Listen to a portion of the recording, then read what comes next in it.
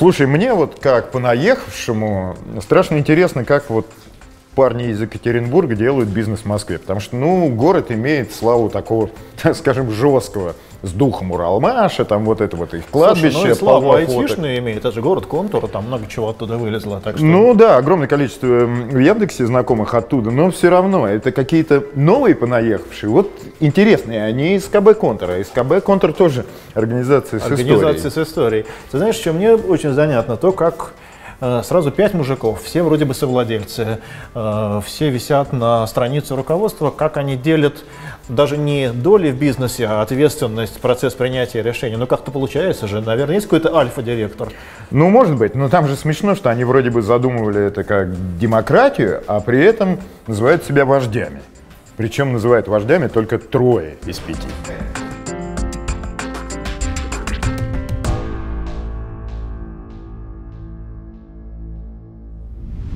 Я Андрей Завьялов, сооснователь сервиса для предпринимателей «Кнопка». Мы ведем бухгалтерский учет для предпринимателей и делаем им жизнь легче. На нас работают искусственный интеллект, роботы и все остальное. Я предприниматель, мне нравится создавать что-то новое, и я вкладываю свою душу, свое свою жизненную энергию в то, что я делаю. И все, что мы делаем в кнопке, это мы делаем из любви к предпринимателям. Мы знаем их проблемы, мы знаем их сложности, мы знаем, о чем у них болит голова каждое утро и каждый вечер. Если же убрать тему предпринимательства, в первую очередь, наверное, я семьянин. Для меня это самое главное, наверное, в жизни, то есть моя семья, чтобы она была счастлива. То есть у меня жена, трое детей. С ними я счастлив, провожу с ними все свое время. Большую часть, наверное, времени свободного от семьи, то есть я уделяю своим любимым занятиям. Это хоккей, я играю вратарем, это не самое простое и не безболезненное занятие. И сейчас для меня самое интересное, наверное, это дайвинг. Да? То есть мне это очень нравится, это путешествие по миру, ну и сам факт погружения, это единение с природой, это всегда меня очень сильно ну, вставляет. А по большому счету, наверное, ну, я счастливый человек, то есть я создаю что-то новое, улучшаю кнопку, какие-то делаем еще вещи. Ну, наверное, просто счастлив и всем этого и желаю.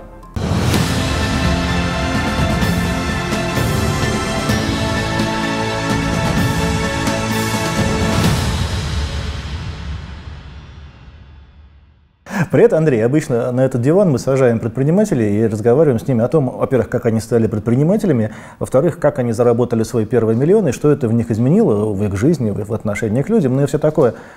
А вот сегодня я не очень уверен. Скажи, пожалуйста, ты предприниматель или ты все-таки менеджер с опционом? Как ты сам себя сам ощущаешь? Ну, наверное, последние года три я себя стал ощущать предпринимателем, сначала менеджер с опционом. Наверное, вот так будет более корректно. Эти три года начались сразу с момента твоего прихода в кнопку, или Нет. ты уже пришел в кнопку, ты так вот чувствовал себя все еще менеджером с опционом, потом вроде так опцион стал все более и более значим, а потом думаешь, черт, да я вообще предприниматель, горя на все. Но у нас там не было какой-то линейной там, структуры опционов, чего-то такого. Это, этого не было, то есть мы сразу же знали, сколько будет. Ну, то есть, как бы мы не знали, когда я стану, грубо говоря, реальным владельцем пакета акций, да, но я знал, какой он у меня будет с самого первого дня, когда мы только начали ее делать. Потом постепенно оформлялось, это как-то что-то еще. Ну, как, просто это, наверное, некий, как бы, жизненный этап, что ли, да, то есть как самое ощущение. Я сразу же понимал, что я уже совладелец этой компании, это, это я все сразу понимал, однозначно. Но это как-то где-то где-то здесь происходит. То есть, что ты вот, вот я 7 лет кнопки сейчас, вот было 22 июля, 7 лет компании, и где-то вот, наверное, года три назад я понял, что вот, ну, все-таки как бы, ну, ощущение внутреннее. То есть это не документальная какая-то штука. То есть документальное это было сначала. А скажи мне, ну, ты же так скажем, такой же, наверное, как мы человек, я всем это говорю родом из Советского Союза, и вряд ли ты, вот родившийся в ЕКБ или где, в Нижнем Тагиле, если бы Ниже, В Тагиле. Да, Тагил. Э, и вот, вот этот вот человек рождается с криком Тагила и думает, а вот я стану предпринимателем. Или не столиваром, не чем Тагил там славен, я не знаю. Э, человеком... Танками и вагонами. Ну вот, э, расскажи, кем ты был, когда был маленький? Кем ты хотел стать? Киса, как вас звали в детстве? Ну, типа того. На самом деле, я хотел стать космонавтом. Ну, как бы это не смешно звучало. Был период в жизни, я не помню, когда он был, ну, в смысле, там, 6, там, от 6 до 18 лет или там от 6 до 12, я не помню, в какой момент То есть долгий? Да, Ты- я несколько лет хотел прямо, да. Крутился хотел на стуле? да нет, не крутился. Просто почему-то я это хотел. То есть вот мне всегда нравилась фантастика, ну мы уже упоминали и так далее. И мне это хотелось. Но я причем как-то трезво относился к тому, что как бы, ну, ну не буду я им. Ну, я это понимал, что я не буду космонавтом, но в то же время как бы желание определенное у меня было. Ну вот смешно звучит, но было. Да почему нет, не смешно, просто мне кажется, вот Тагил, очень рабочий город. Я сам, собственно, из промышленного города, промышленного района. И представить себе, что ты вот с пацанами во дворе и с мечтой о том, что ты предприниматель, что кто-то на тебя работает, такого нет. Когда вот, э, когда это щелкнуло, э, когда это с тобой произошло, вот три года назад и- или пораньше? Я вообще, честно говоря, если мне- вот мне кто-то скажет, типа, я родился с мыслью стать предпринимателем, и в 12 лет меня торкнуло, я не поверю. Но мне кажется, это, это, ну, это некий, некий эволюционный процесс. Ну, то есть, как бы, ну да, есть люди, которые там форцевали там у, гостиницы там Метрополь, условно, но и даже они тогда не понимали, что они предприниматели. То есть они там барыги там назывались, или как там еще там, да? Форцовщики? форцовщики, то есть это не было термин там предприниматель, там, да, потом он как бы, больше люди начинают, наверное, об этом задумываться из серии «хочу я работать на себя», ну или как там, или работать на дядю. Это вот да, это какие-то вот, ну, И когда тебе хотел эти работать мысли? на себе. нормально. Видимо, зацепил, да? Тонкую струну души. И ты хотел работать на себя или на дядю. Это понимание, что ты хочешь э, в зрелые годы работать уже на себя, оно было с детства или это пришло уже со временем? Ты знаешь, я, может быть, до сих пор, дай мне, например, выбор, и скажи, что хотел бы, хочешь ли работать только на себя или нет. Я все равно буду сомневаться, хочу ли я этого или нет. Приведу простой пример. Я всегда задаю вопрос некоторым людям из моего там окружения. Бывает такое, типа, ну, я говорю, ты предприниматель, типа, у тебя свой бизнес? Да, свой. Я говорю, прям вот, ну, прям свой? Да. Я говорю, ты можешь уволиться через два дня, если я тебе сделал хорошее предложение? Да. Я говорю, значит, у тебя не свой бизнес. То есть свой бизнес это тот, из которого ты уволиться не можешь. Ну, как бы, ну, я не говорю про крупные корпорации, там, да, где ты там просто владеешь пакетами акций, компания на IPO, у меня там 3% Apple там, или там Microsoft, это, это не совсем то. Я говорю именно такой, ну, знаю, там, малый, средний, там, ну, может, крупный бизнес, да, там, тот же Галицкий в Магните, да, то есть он же, ну, если почитать его интервью, он долго не мог, как сказать, себе позволить уволиться. Ты чувствуешь ответственность, там, да, ты понимаешь, что как бы Это нет его там дитя? приемник, там, преемника там нет, там, его дитя, что-то еще. Поэтому если человек легко мне отвечает, а что, что-то интересное есть, через две недели я свободен. Я говорю, значит, так бизнес не твой. Ну да, на самом деле, я там просто там номиналом сижу, у меня там партнер есть, в принципе, он все делает, я только денег на входе занес. Ну, как бы, в принципе, формально, там у него там, не знаю, там даже 30% компании, к примеру. Но реально он там не делает ничего, он просто в самом начале принес денег, все раскрутилось, и это бизнес не его. Но он инвестор. Ну, это тоже этим термином, как бы, он слишком замылен, этот термин, там, who is инвестор, то есть тот, кто, у кого стоит приложение Тин- Тинькофф Инвестиции, это инвестор, или тот, кто вложил там на раунде A или B и так далее, ну, то есть, или это сотрудник инвестиционного фонда, ну, в общем, про инвесторов можно долго разговаривать. Слушай, а давай вернемся тогда. У нас вот есть да. формальные вопросы, которые мы задаем всем. Э, ну, Просто сейчас, пока мы не дошли до перечисления приложения.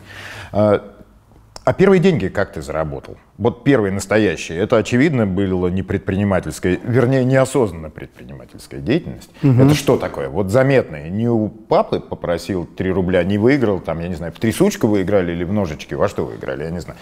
А вот заработал. И как? И сколько? Вы потом это удалите, наверное. Так, не говори мне. Не говори, не, говори мне удалить, удалять, да.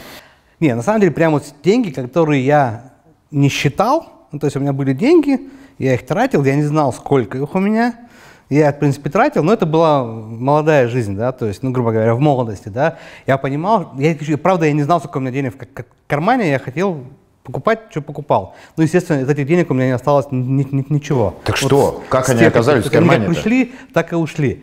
я Срок- работал на Срок давности прошел, я думаю, уже можно об этом говорить. я работал на железной дороге. То есть, Так. как бы, в строительном отряде проводников. Так. Потом, соответственно, я стал начальником поезда, там одним из самых молодых на Свердловской железной дороге. Ну, естественно, в те времена билеты Купить было на поезд не всегда. Не существовало компании DHL, Pony Express, которые переводят там грузы там и так далее. Не было Яндекс курьеров там и всего этого остального. Нужно было передавать посылки, за, за которую ты просто не отправишь. То есть приходили люди, отправляли посылки, люди ехали на похороны, не надо было где-то купить билет, билетов не было, ты им помогал. Соответственно, за это ты с них брал ту же самую стоимость, которую бы они отдали в кассу. Но, естественно, ты в кассу эти деньги не отдавал. ну и все. То есть, незаконное это... предпринимательское Да, незаконное предпринимательство, по, по, по большому счету. Как бы. Ну, ну ключевое такой... слово предпринимательская деятельность. Вообще. Да. Ну, это надо было организовать? Это так Во. Расскажи, потому что перед тобой мы разговаривали с человеком э, совсем другого возраста, который тоже получил первые азы, так скажем, предпринимательские должности, только, э, вернее, деятельности, только будучи простым проводником, он и там сумел что-то выкрутить, ну, я, боже. я там и начинал, то есть как бы. Ну и чему тебя научил поезд? Не, на самом деле там как, у тебя строительный отряд проводников, да, то есть есть начальник поезда, и проводники распределены по вагонам. Как-то у меня это всегда складывалось, то есть я всегда стремлюсь, как сказать, к центру принятия решений. И есть такой вагон всегда в центре состава, он называется штабной вагон, где едет начальник поезда. Я почему-то достаточно быстро, там рейс на третий, попал в проводники штабного вагона. А проводник штабного вагона, когда начальник спит, начальником является проводник штабного вагона. Я потихонечку всю эту кухню начинал понимать, как что происходит, где берутся деньги, кто с кем что происходит, делится, не делится, как это все происходит. И потом, соответственно, уже всем этим процессом управлял, даже вплоть до того, что начальник иногда просто сидел в купе и ничего не делал. Я уже всем занимался. Не жалеешь, что ушел из такого хорошего, эффективного бизнеса вот в этот нервный, айтишный а знаешь, почему я ушел? У меня тогда сын, кстати, у меня ему сегодня 21 год, и у него сегодня день рождения, 21 год сегодня. Вот он родился, и я о том, что он родился, узнал от начальника вокзала города Пермь, который принес мне телеграмму. То есть тогда же не было сотовых телефонов, они только-только появлялись, прям, ну, это самое начало там, заря сотовых телефонов. И я даже не знал, я знал, что у меня жену увезли в роддом, я не знал, что, как, куда, но я как начальник поезда имел право пользоваться, ну, условно, вот, сетью внутренней ЖД-телеграммы. Вот мне поезд, к поезду в Перми подошел начальник вокзала, говорит, Андрей Валерьевич, вы, вы же начальник поезда? Я говорю, да, я. Вот вам телеграмма, поздравляю с рождением сына. И я понял, что, по-моему, что-то я немножко, ну... Далековато от семьи. Далековато от семьи и, наверное, не тем занимаюсь. Но когда ты узнаешь о рождении сына вот, ну, просто от левого человека через телеграмму, и то потому, что я был начальником поезда, был бы проводником, я вообще бы об этом ну, узнал только по приезду и позвонив с, междугород... с междугороднего телефона. вот. И вот по времени я понял, что, наверное, все-таки начальником поезда хорош. Конечно, фантастика, что они все начинали с проводников. Но ты же теперь понимаешь, где деньги на самом деле. Они не в IT-бизнесе, и они не в дистрибуции, не в ритейле, они, они в поезде. И... Стройотряд. И, в общем, если ты хочешь, чтобы твой ребенок стал предпринимателем, понятно, куда его посылать на практику. Ну, уже поздно. Самое главное, что я туда не поехал, потому что мне казалось, что в поездах но это стремновато. На самом деле они сталкивались с какими-то там вещами, о которых, наверное, с улыбкой, может быть, сейчас и не хотят говорить. Ну, удивительно, что все в поездах, все в поездах. А зачем ты приехал в Москву? Зачем я приехал в Москву? Хороший вопрос. Ну, что мешало, да, казалось бы, в ЕКБ есть программисты, есть инфраструктура, у тебя там квартира, родственники. Вообще, судя по всему, Все вести IT-бизнес из ЕКБ это удобно, это прям один из главных IT-центров страны, а в Москве же тут и пробки, и климат, наверное, похуже, и воздух загазованный, и все-таки ты здесь. Наверное, было несколько причин. Э, причина номер один, в принципе, всегда, вот мы, мы втроем, я, Женя и Антон, мы занимались операционно, управляли компанией. У каждого был свой, скажем, блок, блок ответственности. Там, да? Антон, он был тогда именно генеральным директором компании, там, да, он больше там тоже такое за видение, за людей, за найм, за процессы. Евгений отвечал за разработку, за всю техническую часть, я отвечал за продажи, маркетинг, финансы, партнерство.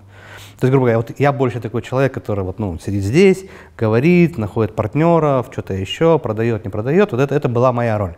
Все равно, так или иначе, а, и самый еще интересный момент был в 2014 году. Мы хотели стартовать на базе банка и думаем, начнем мы продажи в Екатеринбурге.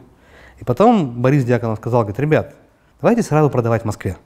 Это как бы для нас выглядит из Екатеринбурга очень сложно, очень непонятно, но это будет сразу вызов, который будет для нас прямо вот, ну, вызовом на входе. Екатеринбурге слишком легко. Все знакомо, все понятно, есть там офисы банка, продаем. Но это мы никогда не сможем масштабировать. Надо в Москве начинать с нуля строить.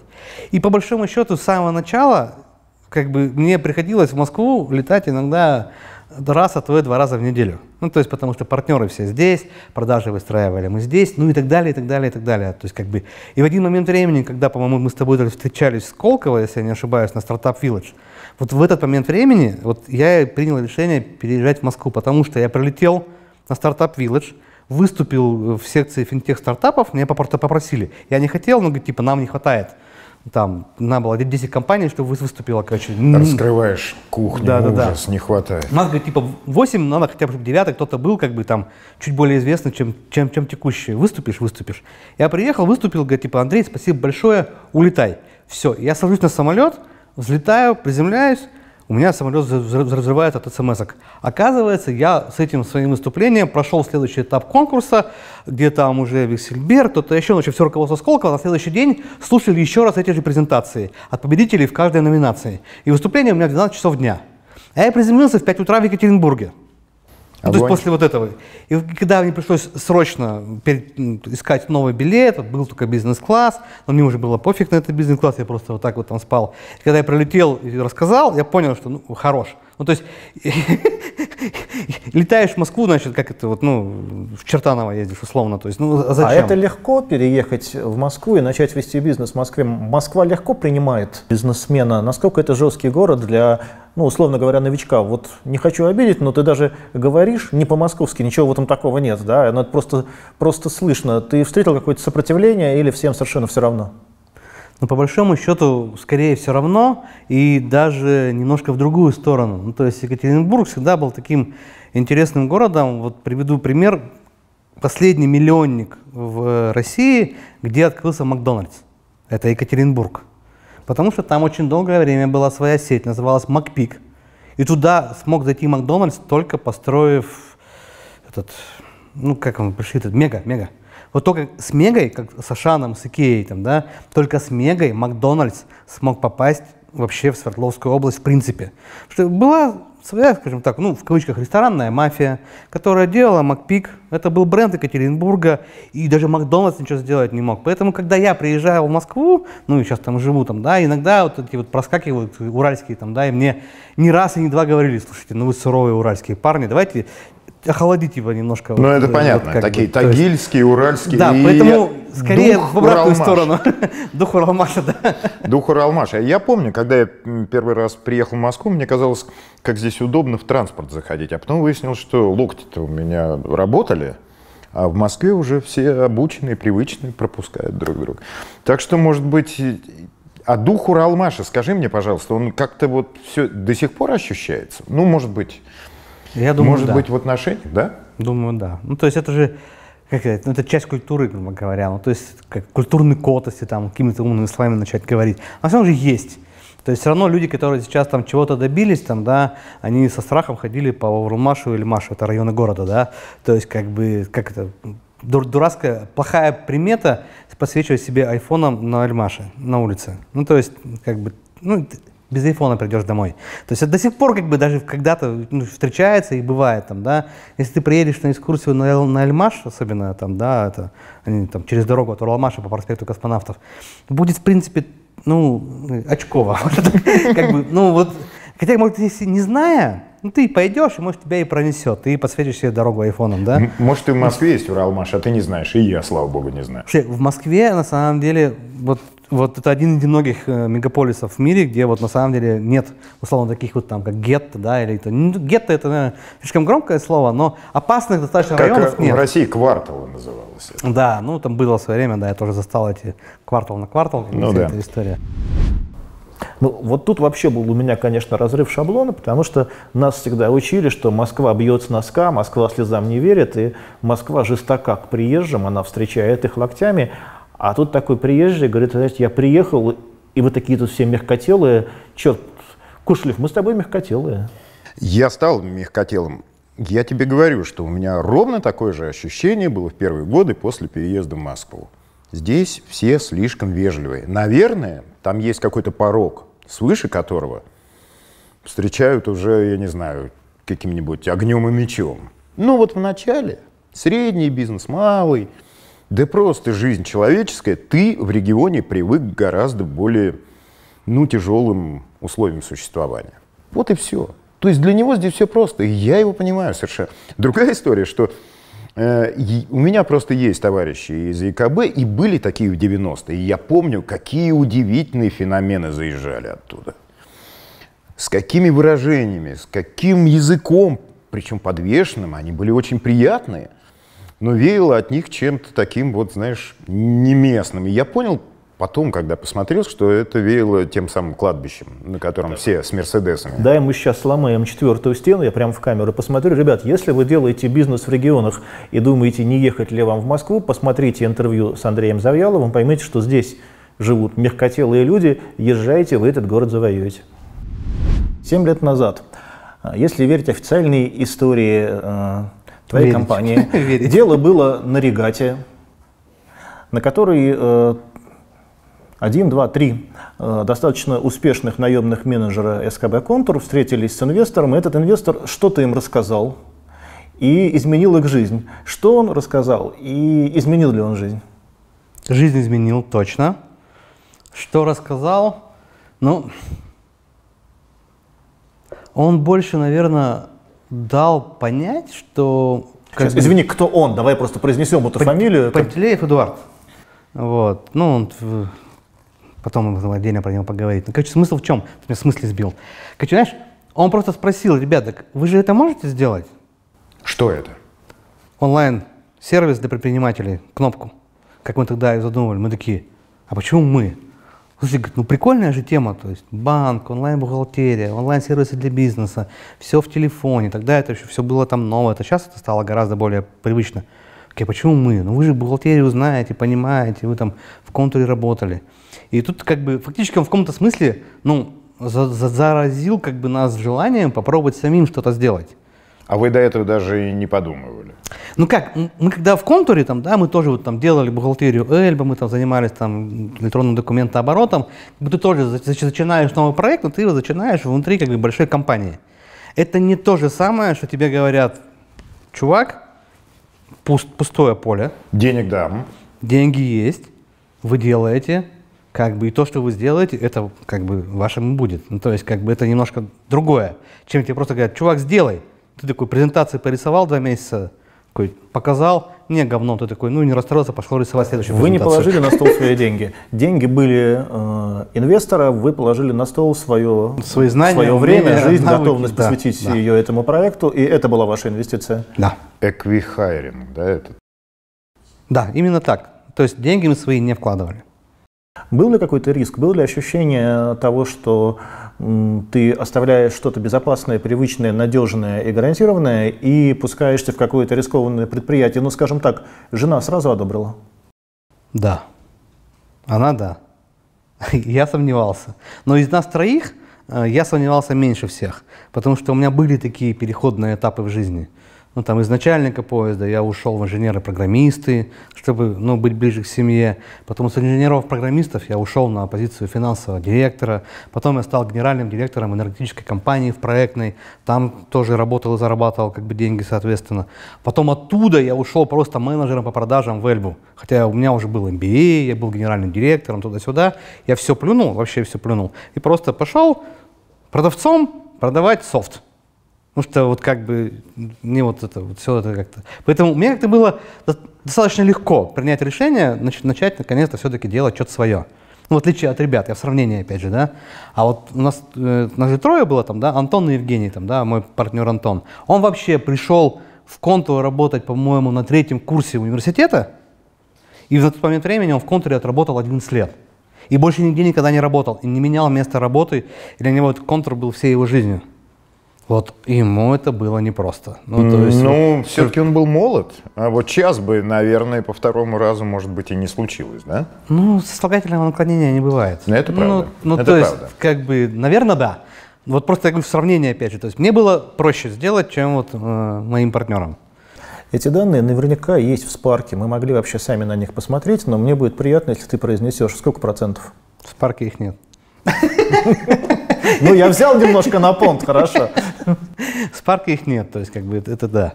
То есть, потому что там в Спарке 100% это кипрская, кипрская компания, ну, естественно, для инвестиционных целей владельцами является компания на, на, на Кипре. И уже дальше, соответственно, есть определенная... Структура собственников размыта. Ну, она есть, естественно, там, да, вот, но... В сейфе. В сейфе. Ты Она не готов закрыта. назвать? У нас было по 8,75, если я не ошибаюсь. 80,75% у каждого. Сколько денег потратил инвестор э, на, на проект и тратил ли, он- ли он их до сих пор? Когда вы Нет. договаривались, э, звучал ли финансовый горизонт? Э, говорилось ли, ну вот мы делаем этот проект, не знаю, от нуля до 20 миллионов инвестиций, а дальше либо закапываем, э, либо инвестируем еще 40, если все идет хорошо, ну, например, так. Нет, там мы договаривались, что вообще мы будем это делать в рамках э, банка 24.ru. Был такой банк в свое время там, да. Это была одна история, были одни договоренности. То есть у нас как-то с кнопкой все время что-то какая-то вот, ну, происходит. Ну, так в любом бизнесе. Год мы жили как бы окей, как некое отдельное подразделение там банка, отдельное юридическое лицо, все, но вместе с банком там, да, что-то нам помогал где-то банк, инфраструктурой, там еще чем-то там, да, потом, значит, у банка отзывают лицензию, мы вообще вынуждены отправляться в свободное плавание под совершенно другим соусом, то есть инвестиций уже нет, ничего нет, то есть все обещания или там, ну, обещаний там не было, все договоренности, они потеряли вообще какой-либо смысл, потому что в этих договоренностях всегда был большой брат банк, да, то есть у Эдуарда Пантелеева, Бориса Дьяконова это был их банк, там все, как бы там, да, и это был большой брат. Тут раз у них банка не стало. Как бы, и, соответственно, мы стали вообще абсолютно независимые в этом смысле. И это, как сказать, и хорошо, и плохо одновременно. То есть плохо в том смысле, что мы теперь поняли, что нужно все переделывать, всю стратегию, ну вообще всю. Да, как развитие, сколько там инвестировать, инвестировать. Но в то же время хорошо, что мы стали абсолютно уже полноценно настоящими, красивыми, одиночными и так далее. Но это сильно все меняло, то есть как бы там, да, разные этапы жизни и развития компании. То есть раз, два, три, четыре, пять. Поэтому инвестиции, когда были нужны, на- они находились. Да? Когда они были не нужны, они не находились. Мы уже года три живем без инвестиций, мы уже зарабатываем, получаем дивиденды и так далее. То есть как бы это уже есть. А Есть скажи, цифра 10 миллионов, она описана в нескольких твоих интервью. Ты готов под ней подписаться, что 10 миллионов долларов – это примерный объем э, вложений, Ну, в зависимости от курса, да, да, да. у меня другой вопрос. Ну, посмотри, такой резкий поворот. Вы были очень важной, наверное, ну или приятной, так скажем, приставкой к банку, а потом и какие-то бухгалтеры одни на рынке, что они там делают, ни, ни банка, ни откуда клиента брать, еще что-то. Это же заново нужно было перезапускать бизнес, нужно было ходить по Абсолютно улицам и кричать, мы тут, сюда, сюда. Как это было? Что такое? Нам только что просто птичка пролетала, и говорят, что с этой вестью вы аж до Лондона дошли, что пришлось денег э, платить э, людям, которые придумывали, как э, вам о себе рассказывать. Рас- Вот Помогали нам ребята из Лондона, которые помогали делать бренд, э, ну, идентику, все, вот, брендбук и так далее, до момента, когда мы еще... Это все было, когда это была еще часть банка. То есть это, это не после там, да. Другое дело, что мы этим не пользовались в том объеме, который подразумевался, потому что это все равно как бы, то есть, ну, нам проще было под банком, как ты правильно говоришь, там, да, ну, банк, у него есть там отделение, там, туда-сюда. Это сейчас там банк точка, который правоприемник там банка 24.ru, тоже мы онлайн-банк и без отделений. Тогда они еще были с отделениями. Понятно, что было проще начинать в Екатеринбурге, в отделениях продавать, были продавцы, там, операционисты, ну и так далее. То есть там уже раскрутить продажи было несложно на самом деле. Ну или сложно, я не знаю. ну, Да. есть система какая-то. Да, да, да. Есть какая-то система, которой ты можешь пользоваться, да. Вот. И поэтому вот все, что нам сделали вот эти ре- ре- ребята там, да, из, из Лондона, они как бы сделали круто, все здорово, но мы в какой-то момент времени, когда вот они приезжали, презентовали, мы так смотрели, а вот если вот наша есть девочка, изображение кнопки, да, девочка-кнопка, если вот на нее посмотреть сейчас, никто не поймет, что на- у нее как, будто бы борода. Ну вот примерно как у тебя. Если, если сейчас на нее взглянуть, у меня изображение ее нет, нет, нет с собой, ты поймешь, что да, кажется, что бородатая девочка. А тогда, в тот момент времени, на Евровидении победила ну, бородатая... Кончита. Кончита Вурс, да, по-моему. Это была она.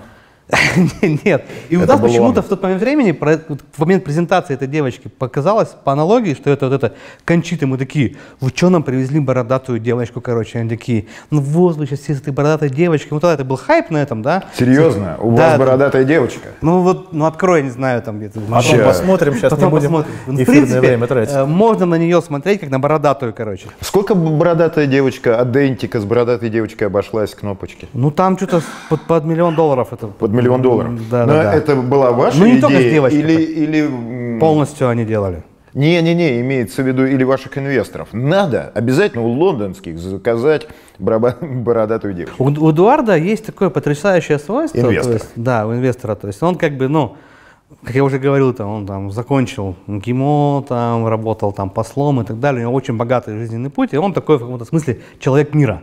Он много знает людей, и он как бы всегда действует по принципу, что пока есть возможность, нужно использовать лучшее. Потому что вот если я ничего не путаю, могу путать, но, по-моему, вот э, чувак, который этим агентством как бы, ну, рулит, у него есть девиз. Я, говорит, берусь за такие проекты, или это не он, ну, по-моему, он. Говорит, я говорит, строю здание, и это здание должно быть таким, чтобы на его фоне люди фотографировались. Я берусь только за такие вещи. Типа все то, что, ну, просто там построить, это не то. Вот я только, только то, на чем, на фоне чего будут делать селфи. Прикольное такое, ну, как бы, жизненное кредо, Ну, там, вызов, да, да. и такой вызов определенный. Вот, и как бы у Эдуарда что-то похожее, и поэтому вот как-то, вот он говорит, так давайте сразу сделаем хорошо. Вот есть возможность, давайте сделаем. Мы такие, зачем? Зачем? Вроде как, ну столько денег, что? Парни, короче, потом поймете, потом мы поняли. Ну вот как раз таки, вот, когда не стало банка, и мы поняли, что в принципе -то эту вещь как раз таки, вот, которая у нас есть, ее и нужно, соответственно, то есть как бы использовать уже, раскручивать там везде, в каналы продаж вставлять, в маркетинг, ну и тому подобное. А как происходит процесс принятия решений в вашей такой непростой, если смотреть на фотографию руководства компании, структуре? Есть два стейкхолдера и есть три основателя. И вот мы сейчас услышали от тебя историю, что такой ключевой вопрос, скажем, как выбор агентства для создания брендинга и э, огромные расходы принимался, по сути, единолично... э, Тем, кто платил, грубо Да, говоря. стейк- стейкхолдерам. А как остальные вопросы принимаются? То есть это все-таки коллегиально или у вас есть ярко выраженный лидер, и вы, в общем, соглашаетесь? Не, Эдуард все равно, то есть как бы, не, не насколько я знаю, сколько мы общались там, да, никто из нас никогда даже не думал, скажем так, оспорить лидерство Эдуарда. Но это каким-то надо быть как бы странным человеком, чтобы вот, ну, то, что он говорит всегда на каких-то наших общих встречах, там, да, там, совет директоров или там акционеров, там, громко называется, потом мы, мы собираемся в Праге и пьем пиво и обсуждаем ра- рабочие вопросы, называется собрание акционеров. Вот. Ну, видимо, так, так, так у всех, плю- плюс-минус. Он, правда, какие-то вещи умеет рассказывать так, что ты сидишь и думаешь, что я такой дебил-то?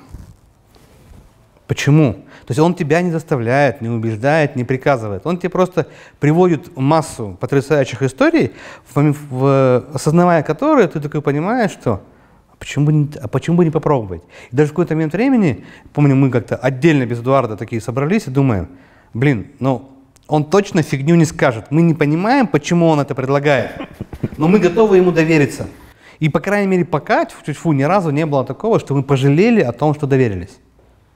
Потому что он как-то всегда рассуждает, ну вот, может быть, это и признак идеального стейкхолдера, в кавычках там, да, то есть э, он так смотрит на все это дело со стороны. Мы, мы, мы, мы внутри, в операционке, он смотрит со, со стороны, и он так на это все смотрит, такой, ребята, может быть, вот так вот? Мы такие, а давай. Ну, как бы, там нет, как бы, знаешь, ну, принуждения, там, да, или там служебные записки парни записали, приказ вот такой-то, делаем вот так. Нет. То есть, как бы, в, в операционку он не лезет, слово совсем, старается туда не лезть. Он такой, как бы, ну, больше вид видения, скажем так. Когда вы запускали э, проект, когда вы только обсуждали стратегию, в том числе, наверное, развитие инвестиций, вы обсуждали стратегию возможного выхода? Обычная же история, когда создается нечто с нуля, назовем это словом стартап, всегда основатели говорят, ну вот мы развиваем это какое-то количество лет, потом мы либо живем на прибыль, либо мы ищем стратега, либо к нам приходит инвестиционный фонд. Но, в общем, идея выхода, она всегда обсуждается, более того, часто фиксируется в документах, кто и что получает в случае продажи компании. У вас есть какой-то такой документ в сейфе? Нет. У нас э, было следующее. Мы договорились как раз-таки вот на той самой яхте, точнее, ну, не на яхте, потому что Эдик яхты ненавидит. ну, не то, что ненавидит, он их как бы старается держать от них подальше. Вот Борис прям фанат. Он там капитан дальнего плавания там и все такое там, да. Вот мы с ним сначала были на яхте, а потом мы остались на два дня в Барселоне, где мы, соответственно, с Эдиком уже лично познакомились и выслушали как бы его мысли и идеи. Он на самом деле говорил сразу же так, ребят, а давайте вот мы сейчас договорились, точно потом мы решим все по справедливости, что и как. Давайте мы будем делить тогда, когда будет что делить. И я говорит, вам обещаю, что будет все окей. У меня было некое сомнение в этом. Ну, как ты говоришь, типа, почему бы там какую-то бумагу бы в сейф не положить, хотя бы соглашение о намерениях. Но почему-то в тот момент времени мне это не казалось э, топ-фактором. То есть у меня было про это как бы типа, почему бы сразу? То есть у человека есть такое поле, искажающее реальность. Он говорит, и все говорят, ну да, почему бы нет? Ну почему искажающее? Может быть, формирующая реальность. Ну, это про... Да, почему искажающее? ну, это про Джобса, ну, стандартная фраза. Известная история, да. Вот, как бы, и в принципе, Потом, когда прошло вот года два или три, когда уже стали появляться там первые деньги, там прибыль замаячила впереди что-то еще, он предложил разделение определенная, как все, все будет разделено, там 50% инвестору, 50% команде и разделение внутри команды, чтобы там мы трое получили одинаково, и он тоже, как член команды, тоже получил деньги. Мы посмотрели, вот я лучшей схемы до сих пор не видел, не слышал ни в одном бизнес-кейсе, ни где-то еще.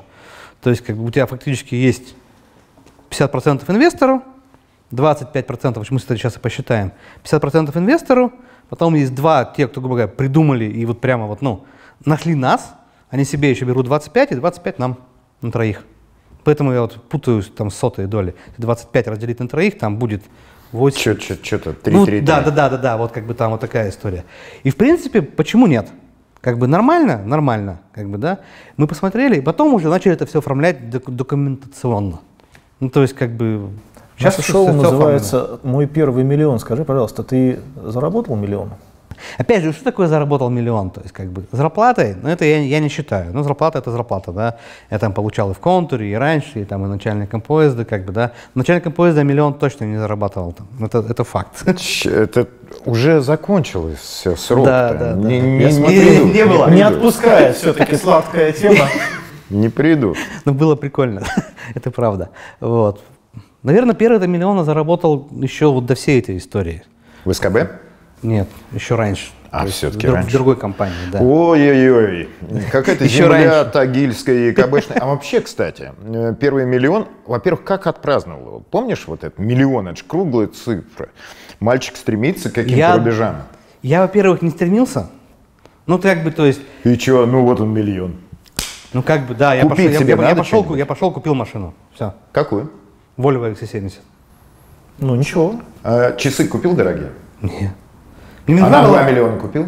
Нет. А на 3? Ну что, А ну зачем? что-нибудь купил? Нет. Гуччи там, я не знаю, еще какой-нибудь дребедень. Нет, я, я пошел, купил машину. Просто пришел, купил. Все. Дорогостоящее увлечение. Я понял, э, есть хоккей, есть яхтинг. Может быть, Яхтинг вы я уже- яхты скинулись, купили себе, нет? Не, ну яхту покупать это как бы, ну, странная история. Странно. Ну, странная. Что-нибудь с адреналином, парашют, сноуборд, Да, мотоцикл. кимоно, дзюдо, очень хороший клуб. Дайвинг. Дайвинг?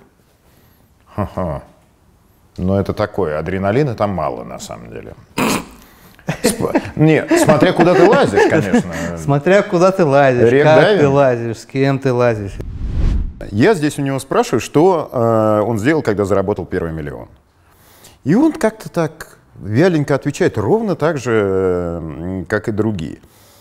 И про второй миллион то же самое. А потом, как только мы вышли да, из кадра, он сказал, да ладно, я съездил в Гималай, я съездил в Антарктиду, я то-то, я сё-то. Все-таки люди, как это ни странно, очень не любят говорить об этом на камеру. Хотя ничего такого феерического не было. Ну, Ну, поездку может быть, в Антарктиду не Слушай, украдешь. Нет культуры успешности, стыдно быть успешным в этой стране, надо прибедняться. Э, Чтобы быть своим, чтобы быть хорошим, надо прибедняться. Нельзя демонстрировать материальные стороны успеха. Можно демонстрировать достижения, э, знания, опыт, вот всякие Значки? такие вещи, золотую медаль, а возможно, съездить с женой в Гималай, почему-то надо вынести за скобки нашего разговора. Нет, ни у кого нет миллиарда, идите отсюда, это всем Ну, это известно. патологический случай вообще, давай его тоже вынесем за скобки. Так, Зачем? друзья, давайте я поработаю занудой, давайте вернемся от всяких тем Ну, приятных дайвинг темам это- интересным. Давайте поговорим про бизнес. Скажи, пожалуйста, если можно, в одном предложении, что продает кнопка? Услуги для малого бизнеса. Бэк-офис для малого бизнеса. Давай так, одни предложения. То есть это сервисная компания, это не IT-компания. А сейчас как бы каждый банк старается стать IT-компанией, каждая IT-компания хочет быть э, при, при банке. Ну, то есть это уже все размылось. То есть как бы у нас внутри все... Без IT, короче, мы бы не смогли стать, какими мы были, мы были сейчас. Понимаешь, предпринимателю, ему пофиг, айтишник ты или нет. Ему хочется Услугу. взять телефон и тут увидеть сумму налога к уплате. Перед этим отправив нам кучу сканов своей первички. Вот он нам отправляет, просто фоткает первичку, у него появляется на экране сумма налога. Это айтишное решение или это услуга? То есть это бухгалтерия все-таки. Да. Это все-таки бухгалтерия. Почему бэк-офис? Потому что бухгалтерия, она все равно неотрывно связана с юридической поддержкой. И, а, то есть еще и юрподдержка. Да. А документооборот? А что такое документооборот? Вот спрашиваю. Документооборот это вот, ну, опять же, такое вот, ну, дайвинг, да, это бывает такое, бывает такое Да. там, да. Что такое документооборот? То есть вот то, что они направляют все документы и получают электронный архив, в котором они могут легко найти все свои сканы, рассортированные там по всяким признакам, да, это мы даем. Помогаем ли мы, например, там, отправлять, получать их первичку? Ну, документооборот с клиентами. Да, помогаем. Помогаем и работать с электронным документооборотом, с операторами по электронному документообороту. Тоже по- помогаем. Даем мы документооборот? Наверное, да. Кто-то говорит, а я хочу, чтобы вы за меня еще документы подписывали и отправляли контрагентам. Такое у нас тоже есть. Ну, в общем, там как бы предприниматель такое существо, у которого всегда есть лишний таракан. Ну, то есть в голове. То есть Сколько по- клиентов сейчас у компании? Полторы. Тысяча. И это, э, это предел технологический, организационный или вообще пределов больше нет? А не знаю. Через три года расскажу.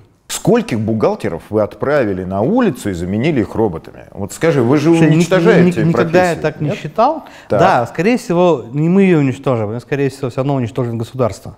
Просто оно пока не готово это делать по морально-этическим принципам, ну, на мой взгляд. Потому что вот, ну, государство это что такое? Оно знает все данные из банка, оно все знает то, что мы часами пикаем, то есть все онлайн-кассы. То есть оно знает о движениях всех денег. Правильно? Правильно. Там есть потрясающие ребята, которые программисты, налоговая там, это АСУ, как оно там называется, я не помню, налог 2 или что-то что какое-то у них там штука там, да, есть. Они опять же знают, кто, что, куда тратит, переводит и так далее. Все это сметчить, свести государству ничего не стоит. Ну как, ну как вот мы с вами, да, получаем уведомление, заплати налог за автомобиль.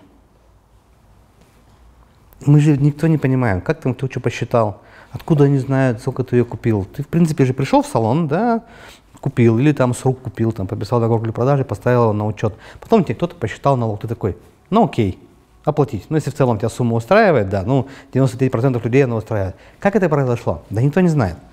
На самом деле, в какой-то момент времени с юридическим, грубо говоря, налогообложением будет примерно так же. То есть То есть Директору и, будет и вас, сумма. и у вас с вашими нейросетями уволят тоже. Ты об этом же? Скорее всего, эти технологии просто я бы хотел, чтобы потом стали этой частью, просто вот и все.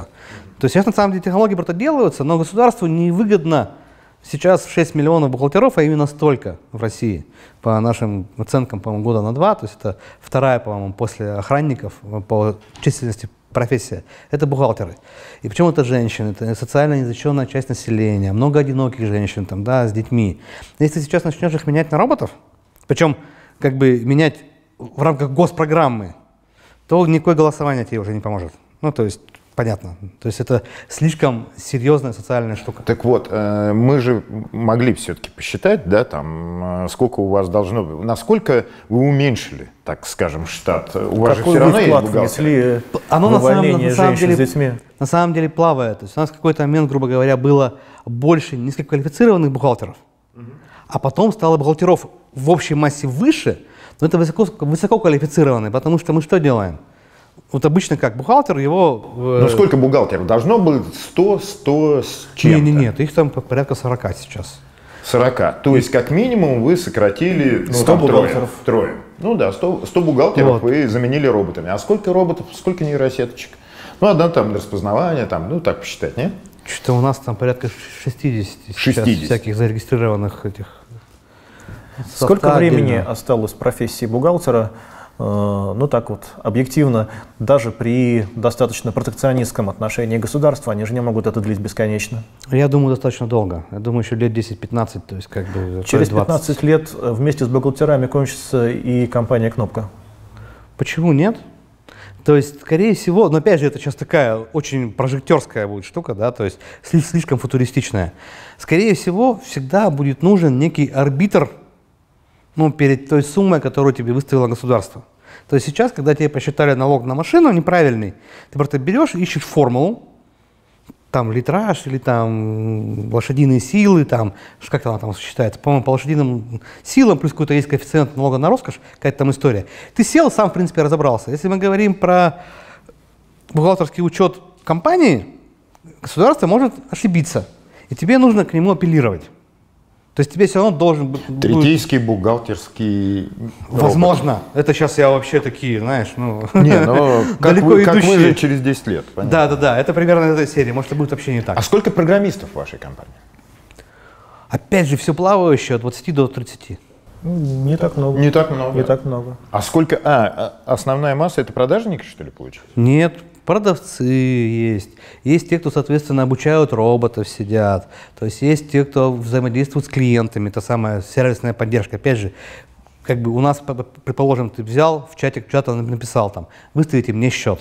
Какую-то историю отловил, соответственно, сразу же робот, подсунул тебе этот счетик, отправил. Какие-то запросы, они не формализуются. Это должен обрабатывать человек. Клиент уже пофиг, там искусственный интеллект или нет. Он тебя ждет счет на оплату. Все.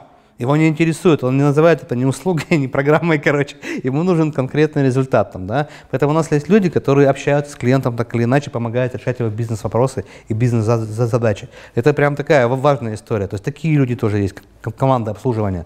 У нас каждый клиент так или иначе знает, кто с ним. Бухгалтер, юрист, там, бизнес-ассистент, там, да. Эти люди тоже у нас есть. Поэтому у нас часто трансформируется компания, то есть умные бухгалтеры садятся в один момент времени рядом с программистом, и программист говорит, что у тебя не получается? Он говорит, у меня вот здесь затык. И они садятся с программистом вместе и начинают искать, как это место расшить. Зачастую бухгалтер говорит, это можно сделать только руками, программист. Не понимаю. Они крутые ребята, они такие, вот так должно работать. Почему не работает? Начинают копаться. у нас сидит программист, делает что-то вместе с бухгалтером. Есть бухгалтер в штате? Есть. Занимается он бухгалтерским учетом для клиентов? Наверное, да.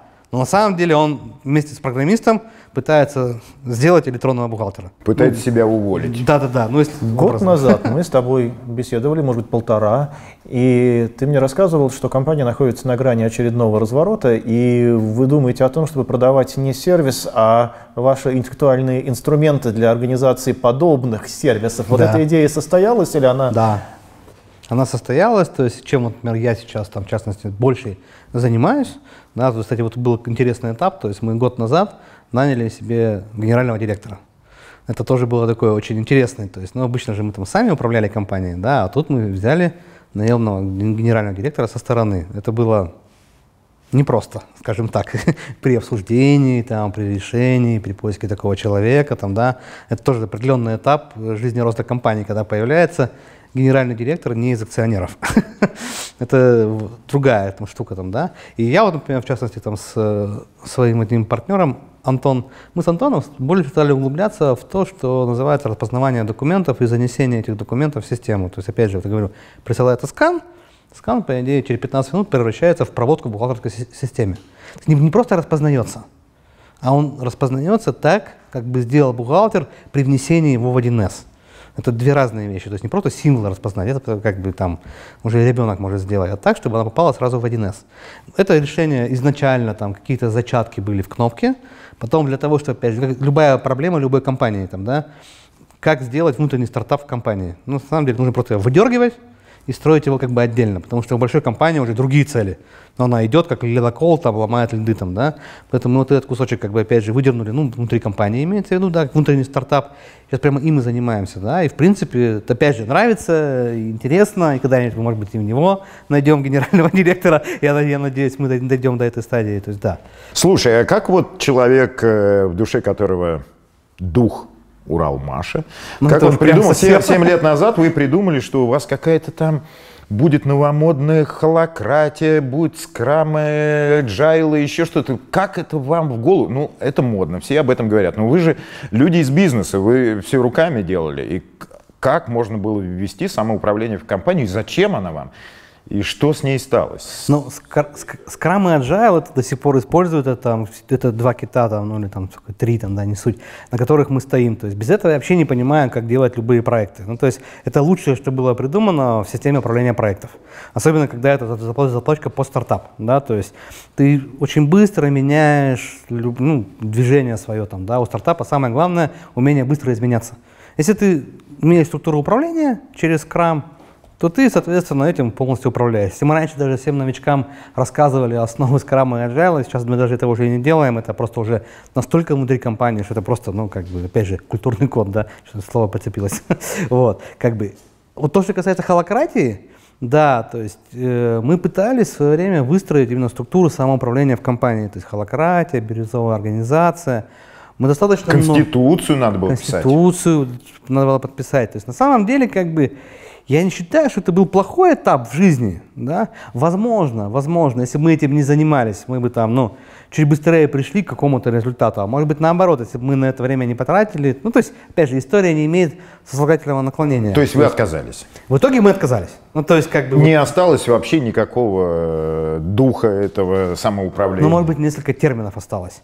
А духа, на самом-то деле, что самое это смешное, холократия, вот, ну, это же вещь, на которой зарабатывают. Ну, то есть тебе, чтобы написать правильную конституцию, тебе нужно нанять специально обученных как бы, консультантов. Да? Чтобы специально обученного консультанта нанять, тебе нужно там пройти у специально обученного человека аудит, я не знаю. Ну, короче, это некая там система по вымыванию как бы, денег из компании. Там, да, что вот, как сейчас там хочешь там пройти аудит по МСФО, только у специального аудитора. Ну, то есть, как бы больше ни у кого ты не пройдешь. Поэтому, чтобы холократия у тебя была прям по-настоящему, ты должен, ну, заплатить. Вложить денег. Да, вложить в это, в это денег. На самом деле, все, что касается отношения к людям, отношения к команде, как это ни странно, у нас всегда это было, как бы, ну, то, что в холократии есть. То есть у нас всегда все на «ты», никогда не было рабочих кабинетов, там, ни у а кого как же вожди? Ты же вождь.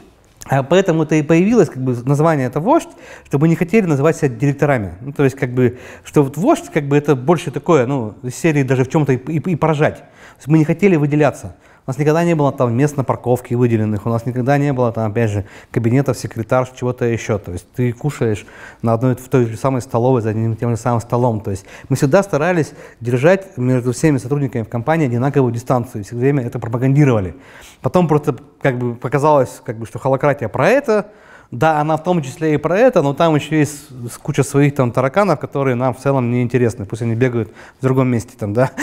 А все эти вещи, они были у нас и так. Поэтому мы это, в принципе, и оставили, а вот этих таракашек мы отдельно выгнали, и все. Не стали делать ни конституцию, ничего остальное. То есть шили свое собственное лоскутное одеялко, и вам удобно? Да, да, да. А то, что у нас в компании правда, условно там уборщица может там мне просто смс написать, Андрей, там, привет, как дела, это вообще не вопрос. То есть вот, вот у нас абсолютно плоская структура, то есть каждый с каждым в любой момент времени может поговорить, нет ничего такого. Да, есть, как бы, конечно, формальные круги там, круг программистов, там, круг там бухгалтеров, там, круг там еще кого-то там, да, понятно, что это есть, там есть у них какой-то лидер там, да, но этот лидер, он меняется достаточно регулярно, вообще нет понятия даже слова начальник в компании, его даже нет.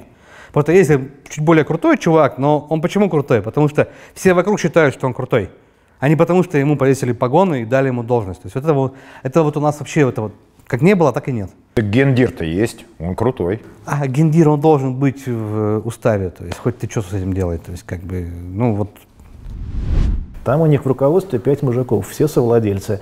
Но при этом, как, в общем, я и предполагал, есть один э, человек, который сильно ровнее, чем все остальные. Мне это знаешь, что напомнило? Как э, в ВКПБ считалось правильным следовать ленинскому курсу, и он, в общем, не оспаривался. Все признавали, что есть просто вожди, а есть великий вождь, который лучше всех знает. Вот э, у меня впечатление, что в Кнопке у них э, не просто вождизм, это понятно, а некий великовождизм, и есть авторитет, который ну, просто не обсуждается. Слушай, как ты красиво говоришь. Мне кажется, что это такой уникальный какой-то случай, да, чувак, который умеет реально своими словами изменять реальность. Вот так вот поводить э, руками, что-то рассказать, и все в это влюбляются. Удивительно, что он какая-то белая кость, что он какой-то мидовский, что он давно живет за границей и умеет морочить голову всем. Но оно же работает, тут главное. Оно работает до тех пор, пока его слова сбываются. Тут стоит один раз ошибиться. А может быть нет, может быть можно и ошибаться, и, и тебе это прощают, если тебе авторитета достаточно. Есть э, определенные трудности, реальность. Не, ну это, конечно, фантастика. Уди- удивительно, что он не вождь. Он как бы в стороне стоит. Какой у тебя пенсионный возраст? Не знаю, как пойдет, на самом деле. Не думал еще? Слушай, Вот я сейчас, как вот я сейчас живу, я безумно кайфую. Ну, то есть, как бы вот я делаю то, что мне нравится, я отдыхаю, как мне нравится. Мне это все нравится. То есть, как бы, если так это будет идти, так пусть бы он не, нас- не наступал никогда. Ответил? Да. Вот, ну, наверное, так. То есть, как бы я, ну, наверное, я счастлив. Вот, вот, вот все очень просто. Андрей, спасибо. Услышали много всего интересного для меня про Екатеринбург, даже прямо скажем нового. Друзья, надеюсь, всем было интересно. И не забывайте подписываться на наш канал, ставить лайки, колокольчики. Объясни, что надо делать. Все, все жмите по очереди. Спасибо, пока.